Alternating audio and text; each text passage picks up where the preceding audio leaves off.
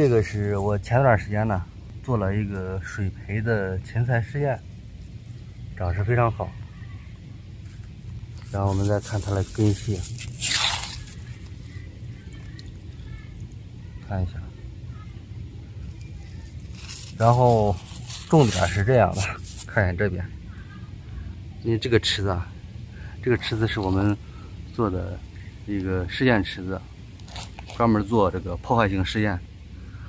在同样的条件下，你看这个芹菜长势和这个生菜对比，完全不一样。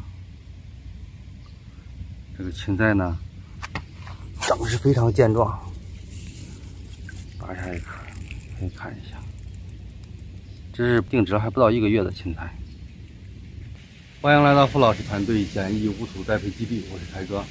我拍这个视频的目的呢，是告诉大家，特别对于一些刚开始进入到水培叶菜这个行业的啊，做深叶流的朋友啊，啊，如果说技术还不是说特别啊特别好的情况下。可以考虑啊，先从这个芹菜种植开始。这个芹菜明显，它要比生菜呢，这个在同样的生长条件下，就是它的抗泥性呢，会比生菜会更好，更容易去种植。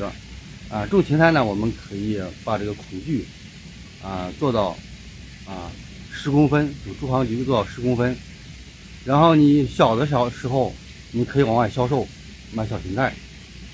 等这个踢着卖，踢了以后呢，剩下的是空变成株行距是二十公分的时候，你可以卖卖大芹菜，或者卖那种去去根儿、去去去顶端的那种大细芹，都可以。